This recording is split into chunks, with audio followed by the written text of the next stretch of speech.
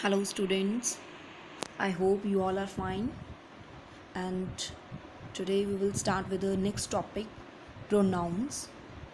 Nouns ke bare mein humne pad liya tha pronouns क्या होते हैं? Pronoun is a word that is use at the place of noun noun की जगह पे लगने वाले वर्ड्स जो होते हैं that are known as pronouns now look at this example here is a bus and we are taking a name Mohanlal Mohanlal is a bus driver. Mohanlal Lal drives children to school every day. Mohanlal is jovial man. हमने ये तीनों sentence में we have talked about the Mohanlal एक single person के बारे में बात की है, उसका नाम क्या है Mohanlal in each of the line we are starting are sentence with the name of that person to avoid this repetition we will use pronouns इनकी रेपिटेशन को अवॉइड करने के लिए we will use pronouns look at this next step now have a look on these example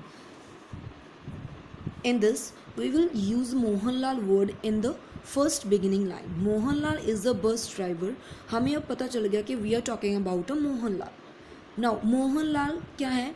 man single, एक single person के बारे में बात करें तो हम उसके लिए क्या यूज़ करेंगे? ही तो ही जो है हमारा that is pronoun used ah to replace the word Mohan Lal he drives children to school he is a jovial man the words I you he she it we they these all are pronouns that we will use in the sentence and replace the noun with these words He, she, it is a singular noun.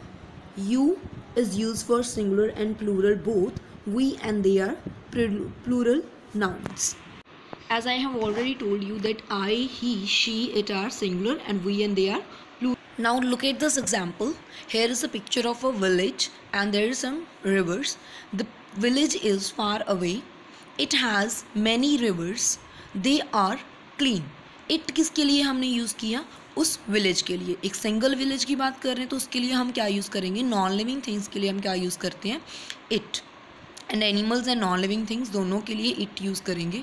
And उन्हीं rivers के बारे में बात कर रहे हैं। दे are clean वो जो रिवर्स हैं, वो क्या हैं? क्लीन है। प्लूरल था रिवर्स एक से ज़्यादा के बारे में बात कर रहे हैं तो we will use they they are clean I hope you are clear with this now we will check about you as you is used with both singular and plural noun we will check it with the examples now look at this picture here there is only one boy we are talking with that boy you is used for their single boy child do you have a pet do क्या आपके पास पेट है किसको बोल रहे हैं हम उस लड़के को बोल रहे हैं लड़का क्या है सिंगुलर है does it play with you क्या वो तुम्हारे साथ खेलता है तो हम यहाँ पे सिंगुलर के साथ यूज़ कर रहे हैं यू को in this picture there are four boys means more than one plural nouns हम इनके बारे में बात करेंगे। It is a important game ये गेम क्या है? इंपॉर्टेंट है। You must play as a team हम उन च, सभी चारों लड़कों के लड़कों को बोल रहे हैं कि आपको एक टीम की तरह खेलना पड़ेगा। तो हम चारों के लिए भी क्या यूज़ कर रहे हैं? You you can be used as a singular and plural noun it's clear जो सिंगुलर नाउन्स होंगे, उनको हम रिप्लेस करेंगे with the singular noun and plural with the plural pronouns singular को सिंगुलर के साथ ही रिप्लेस करेंगे एंड प्लूरल को प्लूरल के साथ. These are some kind of pronouns pronouns क्या होते हैं? प्रणाम जिनको पंजाबी में बोलते हैं हम, उनके कितने पार्ट्स हैं? एट पार्ट्स हैं but in your book there are seven parts सात पार्ट्स दिए हुए हैं आपकी बुक में, हम सेवन करेंगे एक बार. वन बाय वन हम इन सभी प्रोनाउंस के बारे में स्टडी करेंगे। सबसे पहले क्या है? पर्सनल प्रोनाउन पर्सनल प्रोनाउन में क्या होता है? एक होता है सब्जेक्ट प्रोनाउन दूसरा क्या होता है? ऑब्जेक्ट प्रोनाउन जैसे हमारी लाइन कोई भी एग्जांपल ले सकते हैं, हम एक एक करके एग्जांपल में समझेंगे इसको। सिंगुलर में क्या आएगा? I you she he it plural में क्या आ जाएगा? We you and they singular objective में क्या होगा? ऑब्जेक्ट में मी यूज़ करेंगे एज एन ऑब्जेक्ट अगर हम ऑब्जेक्ट के बारे में बात कर रहे हैं, जिसके बारे में हम बात कर रहे हैं, वो क्या होता है हमारा ऑब्जेक्ट उसमें सिंगुलर क्या यूज़ करेंगे? आई की जगह पे क्या आ जाएगा? मी यू की जगह पे यू ही रहेगा. ही शी की की जगह पे क्या रहेगा? ही शी की जगह पे her and him and it की जगह पे क्या रहेगा? इट अगर प्लूरल की बात करें वी की जगह पे क्या बन जाएगा? अस यू की जगह यू ही रहेगा दे की जगह पे क्या बन जाएगा? दैम जैसे example he will beat them वो उन्हें मार देगा। देम क्या है? हम एज एन ऑब्जेक्ट यूज़ कर रहे हैं तो दे की जगह पे क्या हो जाएगा वहाँ पे? देम इसी में हम स्टडी करेंगे about the first person second person and third person first person क्या होता है? जो बात कर रहा है। वो कौन होता है? फ़र्स्ट पर्सन जैसे now I am speaking I क्या है? फ़र्स्ट पर्सन आपके साथ बात कर रही हूँ तो यू क्या है? सेकेंड पर्सन थर्ड पर्सन क्या है? किसके बारे में बात कर रहे हैं हम? प्रोनाउंस के बारे में. तो प्रोनाउंस क्या है? इट क्या है? इट या दे वो क्या होते हैं हमारे? थर्ड पर्सन पर्सनल प्रोनाउंस क्या होते हैं? जब हम किसी स्पेसिफिक पर्सन या थिंग के बारे में बात करें। पर्सनली हो स्पेसिफिक पर्सन या किसी थिंग के बारे में बात करें। पोजेसिव प्रोनाउंस क्या होते हैं? जब हम जिस प्रोनाउन से हमें ये पता चले कि कोई चीज़ की ओनरशिप किसकी है रिलेशन क्या है किसी चीज़ का, किसी के साथ इट डिनोट्स द ऑनरशिप और पोजेसिवनेस जैसे कि ये मेरा पेन है my pen it is my pen क्या यूज़ कर सिंगुलर में हम क्या यूज़ कर सकते हैं? पोजेसिव प्रनाउन में mine yours hers his its and plural में क्या यूज़ करेंगे? आर्स योर्स देयर्स इसमें क्या है? दिस पेन इज़ माइन ये पेन किसका है? माई मेरा है मतलब। हम इसको किस वे में लिख सकते हैं? This is my pen pen जो है ऑब्जेक्ट है, उसको पीछे लिखेंगे तो हम क्या यूज़ करेंगे? माइन अगर ऑब्जेक्ट को पहले ही बता रहे हैं तो क्या यूज़ करेंगे? माइन इसमें क्या है? अब बुक्स क्या हैं? ज़्यादा हैं। तो बच्चे भी ज़्यादा दिए हुए हैं यहाँ पे। प्लूरल के बारे में बात कर रहे हैं तो बच्चे बता रहे हैं कि ये बुक्स हैं जो हमारी हैं। तो क्या आएगा? दीज बुक्स आर आर्स हमारी हैं ये बुक्स आर्स तो क्या वर्ड यूज़ करेंगे? U O U R S इसे क्या बोलेंगे? Ours these are our books ऐसे भी बोल सकते हैं। आर वर्ड यूज़ कर रहे हैं, वो क्या हो गया हमारा? As a pronoun next is demonstrative pronouns जब हम किसी चीज़ को आइडेंटिफाई करना हो, पहचानना हो, बताना हो कि ये वो चीज़ है, वो, ये ये सारे किसके लिए यूज़ करते हैं हम? डेमॉन्स्ट्रेटिव प्रोनाउंस ये सब्जेक्ट्स के लिए भी यूज़ कर सकते हैं हम ऑब्जेक्ट्स के लिए भी यूज़ करते हैं. This these refers to the noun that are near by जो चीज़ हमारे नज़दीक पड़ी होती है, हम उसके लिए क्या यूज़ करेंगे? This and these this for singular and these for plurals that and those are use for the nouns that are far away जो चीज़ हमसे दूर पड़ी है उसके बारे में अगर हम बात कर रहे हैं तो हम क्या यूज़ करेंगे? दैट एंड दोज दैट किसके लिए? सिंगुलर के लिए and those for the plural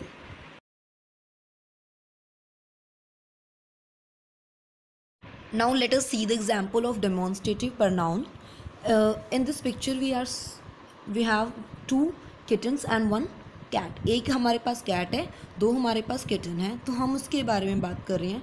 तो ये कैट हमारे नज़दीक दिख रही है हमें तो हम क्या बोलेंगे? This is my cat and those are its kittens उसके किटन्स हैं। कितने हैं? दो थे बट दूर हैं। दूर के लिए हम क्या यूज़ करते हैं? दोज दोज कब यूज़ करेंगे? दिस और दैट यूज़ करना था। तो सिंगुलर नहीं है यहाँ पे प्लूरल है, इसलिए क्या यूज़ कर रहे हैं? Those next is are interrogative pronoun जिसमें हम क्या करेंगे, हमने क्या करना है क्वेश्चंस पूछना है। क्वेश्चंस हम कैसे पूछें डब्ल्यू एच फैमिली के साथ। इसमें क्या होगा, जो हमारे प्रोनाउंस या नाउन्स होंगे, वो हमें नहीं पता होंगे। करके, एक एक करके बात करेंगे हम इंटारोगेटिव प्रनाउन के बारे में। सबसे पहले हम बात कर रहे हैं हु के साथ। हु क्या है? Who is use when the pronoun is subject जब हमारा जो प्रोनाउन हो, क्या हो? सब्जेक्ट हो। जैसे who made the cake cake किसने बनाया? कौन है वो? बनाने वाला क्या होगा हमारा? सब्जेक्ट किसके लिए यूज़ करेंगे? पर्सनस के लिए. लिविंग थिंग के लिए. पर्सनस मतलब एनिमल्स के लिए नहीं करेंगे. नेक्स्ट क्या है हमारा? हूम हूम किसके लिए यूज़ करेंगे? It is use when the pronoun is object जब हमारा प्रनाउन क्या हो? ऑब्जेक्ट हो. जैसे इसमें देखो who are whom are you going to invite किसको बुलाने जा रही हो तुम? तुम किसको बुलाने वाली हो? किसको बुलाने वाला? वो क्या है हमारा सब्जेक्ट क्या है इसमें? यू ऑब्जेक्ट क्या है? आएगा, वो वो हमारा क्या होगा? होम जो इसका आंसर होगा, वो हमारा क्या है? होम वो क्या होगा? ऑब्जेक्ट ये भी किसके लिए यूज़ करते हैं? पर्सनस के लिए. बट फ़र्क क्या था? ये ऑब्जेक्ट के लिए यूज़ करेंगे हु सब्जेक्ट के लिए यूज़ करते थे. हुज क्या है? पोजेशन शो करता है. मतलब ये चीज़ किसकी है? ये भी पर्सनस के लिए ही हम यूज़ करते हैं। जैसे ये कैमरा पड़ा हुआ है, हम पूछ रहे हैं कि ये कैमरा किसका है? तो क्या बोलेंगे? हुज कैमरा इज़ दिस ये कैमरा किसका है? किसके लिए हम क्या यूज़ करेंगे? हुज नेक्स्ट क्या है? वट वट हमारा सब्जेक्ट एंड ऑब्जेक्ट दोनों के लिए ही यूज़ होगा बट ये पर्सन के लिए नहीं थिंग के लिए यूज़ करते हैं। जैसे what is your friend's name what is your name what is your friend's name what are you doing इनके सबके आंसर क्या होंगे? कोई चीज़, कोई थिंग कुछ बताओगे आप, ठीक है? नेक्स्ट इज़ विच विच भी हम दोनों के लिए ही यूज़ करेंगे as a subject and as an both for subject and object subject और ऑब्जेक्ट दोनों के लिए ही यूज़ करेंगे। It is use for person और अ थिंग वर्ड सिर्फ़ थिंग के लिए यूज़ करते थे और विच जो है पर्सन और थिंग दोनों के लिए ही यूज़ कर सकते हैं। जैसे which of these books is yours इनमें से कौन सी बुक्स जो हैं आपकी हैं? कौन सी? विच ये बन गया। नेक्स्ट क्या है हमारा? रिलेटिव प्रनाउन ये किसमें यूज़ करेंगे? कॉम्प्लेक्स सेंटेंसेस में. ये है हमारे relative pronouns who whoever या फिर whom whomever which whichever that those इनके बारे में हम एक एक करके डिटेल में स्टडी करेंगे विद एग्जाम्पल्स रिलेटिव प्रनाउंस में क्या होता है, हम एक चीज़ को किसी दूसरी चीज़ के साथ रिलेट कर रहे हैं। जैसे कि ये हूँ जो है, सिर्फ़ पर्सनस के बारे में बात कर रहे हैं, तब यूज़ करेंगे। तो इसमें क्या है, जैसे prince was looking for maiden उस मैडन के लिए देख रहा था, कौन सी मैडन जो कहाँ पर बैठी हुई थी? Who had left her shoes at the ball जिसने अपना शू कहाँ पे छोड़ दिया था? बॉल में छोड़ दिया था। किस लड़की की बात कर रहे हैं? रिलेशन बता रहे हैं, उस चीज़ को रिलेट कर रहे हैं दो चीज़ों को। हु लगा के हम दो सेंटेंसेस को रिलेट कर रहे हैं, आपस में जोड़ रहे हैं। तो ये क्या हो गया हमारा रिलेटिव प्रनाउन नेक्स्ट क्या है? होम या होम एवर ये किसके बारे में बात कर रहे हैं? ऑब्जेक्ट के बारे में। मॉडिफाई द ऑब्जेक्ट ऑब्जेक्ट को दर्शाएगा ये I don't know whom he invited he क्या है हमारा? सब्जेक्ट उसने किसको बुलाया? बुलाने वाला जिसको बुलाएगा वो क्या होगा? ऑब्जेक्ट किसके बारे में बात कर रही है वो लड़की कि मुझे नहीं पता, उसने किसको बुलाया। रिलेट कर रही है होम वर्ड लगा के कि किसको बुलाया गया है। होम भी किस लिए यूज़ करते हैं हम? पर्सनस के लिए। जैसे हमने ये पहले भी पढ़ा था कि विच जो है सब्जेक्ट एंड ऑब्जेक्ट दोनों के लिए हम यूज़ कर सकते हैं।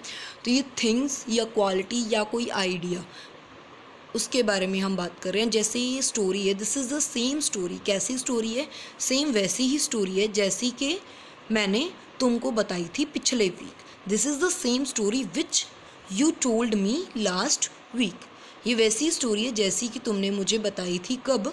लास्ट वीक स्टोरी को, जो उसको बताई गई थी पिछले हफ़्ते, उसके साथ वो क्या कर रहा है उनको? रिलेट कर रहा है कौन सा वर्ड यूज़ करके? विच वर्ड यूज़ करके?